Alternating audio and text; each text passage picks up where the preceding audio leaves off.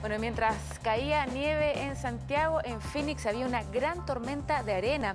Es un gigantesco muro de arena que cruzó el jueves el área metropolitana de Phoenix por tercera ocasión desde comienzos de julio y oscureció el cielo a un tono café.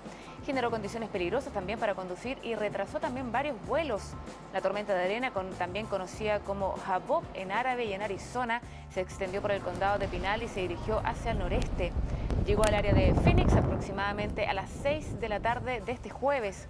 Algunas llegadas y salidas de vuelo en el aeropuerto internacional de Sky Harbor de Phoenix se retrasaron temporalmente debido a la tormenta, según funcionarios del aeropuerto que no pudieron dar cifras exactas. Los despegues y aterrizajes se reiniciaron a las 6.50 de la tarde. Los meteorólogos dijeron que una poderosa tormenta con vientos de hasta 96 kilómetros por hora azotó el condado de Pinal y empujó esta tormenta hacia el condado más poblado de Arizona.